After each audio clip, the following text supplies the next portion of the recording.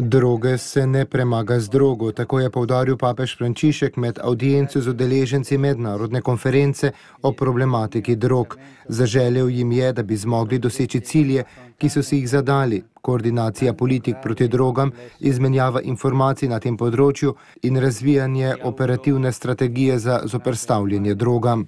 Papež Frančišek je v govoru izrazil nasprotovanje legalizaciji droge in odločen ne vsaki vrsti droge.